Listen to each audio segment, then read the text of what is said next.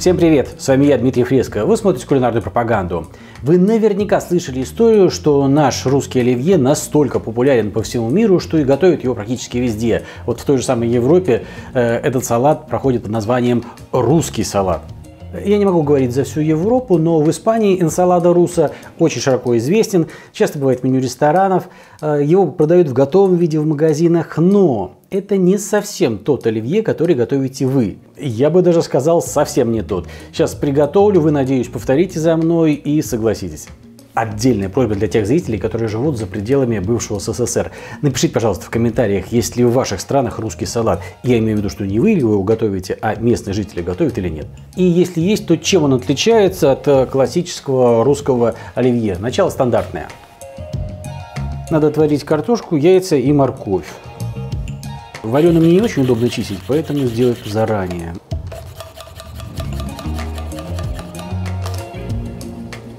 Ну и соли добавлю, чтобы морковь вкуснее была. Но пока все варится, приготовлю быстренько майонез. Масло оливковое холодного отжима, целое яйцо. Да, обычный майонез готовится на желтке, но мне больше нравится на целом яйце. Тогда он получается такой более легкий. Горчица сюда и сразу соли. И немного пожужжать погруженным блендером. И ни в коем случае не надо его отрывать от дна до тех пор, пока большая часть э, не эмульгируется.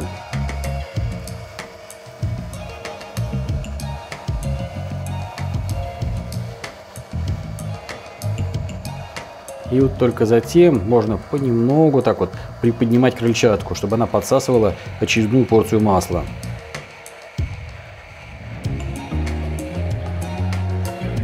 Я уже столько раз показывал приготовление майонеза, что постоянно зрители канала наверняка заплевали свой монитор. Извините, но новым зрителям надо все-таки показать.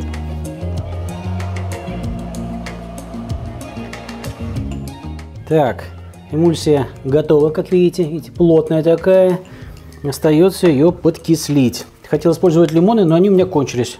Поэтому буду использовать яблочный уксус. Это вкусный яблочный уксус, ароматный. Он пахнет яблоками. Да, с майонезом есть такое правило. Одно яйцо может спокойно эмульгировать 200, а то и 300 мл масла. Чем больше масла, тем более густой майонез получается. Но после добавления уксуса он становится пожиже. Смотрите какой.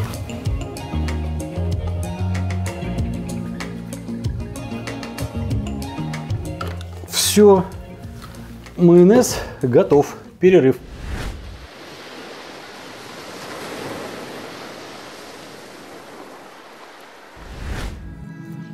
Все сварилось и остыло, с картошки надо снять шкурку.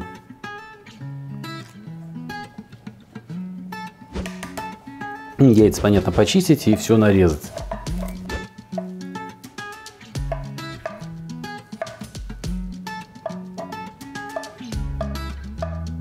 Начинаю собирать.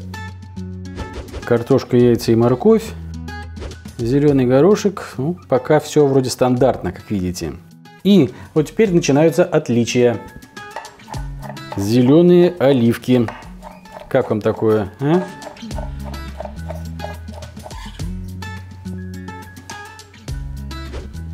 И консервированный тунец.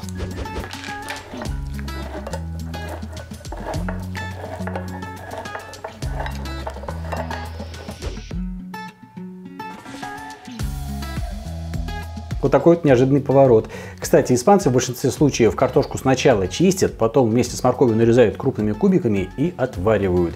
Потом отбрасывают на дуршлаг. На мой вкус не лучший вариант. Картошка водянистая получается. И еще момент. Они в этот салат кладут очень много майонеза. Прям вот слишком много.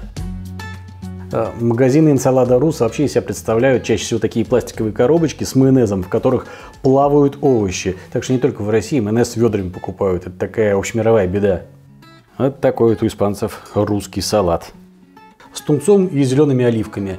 Иногда еще добавляют вареных креветок, а иногда ни креветок, ни тунца не добавляют, остаются только овощи. Но всегда, всегда очень много майонеза. Вот э, у меня на испанский лад майонеза маловато такой, я пожадничал. Так, ну давайте попробуем что ли. Ну, как, как все майонезные салаты, он очень нажористый, очень сытный. Тунец, ну, тунца не зря называют морской коровой. Но это по вкусу и близко не русский оливье. Вот абсолютно. Здесь, а, во-первых, оливки зеленые а, присутствуют. Это яркий вкус. Здесь присутствует тунец, который похож на мясо, но все-таки это тунец консервированный. Так что, так, ну дайте еще немного возьму.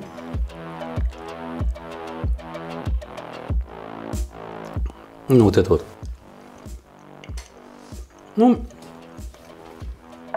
ну, не знаю. Моим малолетним операторам нравится. А мне, учитывая, что я и классический оливье не очень люблю, мягко говоря. Вот селедка под шубой это мое. Селедку под шубой на Новый год я ем с удовольствием. А оливье и энсалада руса нет. Слишком скучно, на мой взгляд. Я его не солил, потому что майонеза много, а майонез соленый. Я не добавлял ничего для яркости, потому что э, уксус, который присутствует яблочный, он сам по себе яркий. Конечно, иногда э, испанцы, наверное, те испанцы, которые насмотрелись э, русских роликов про русский оливье, добавляют лук еще, но это крайне редко. Короче, попробуйте, составьте свое мнение об этом салате, может вам понравится, и вы будете его готовить вместе с оливье. На этом позвольте с вами попрощаться. Не забудьте нажать колокольчик, чтобы не пропустить новые видео.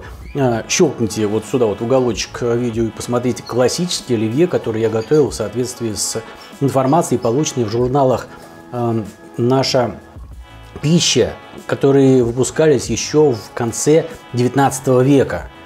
А, я ссылки в конце того ролика ссылки в конце ролика, в титрах указал, откуда ссылался, там классический русский оливье, он тоже абсолютно ничего общего не имеет с тем оливье, который готовите все вы, все мы готовим на Новый год. Огромное спасибо за лайки, за дизлайки, за репосты. Напоминаю, по промокоду Фреска вы сможете получить скидки на ножи Самура. Я сегодня вот, вот такими вот пользовался. Вот, э, это э, Самура э, Метеора. Классные ножи. Всем пока!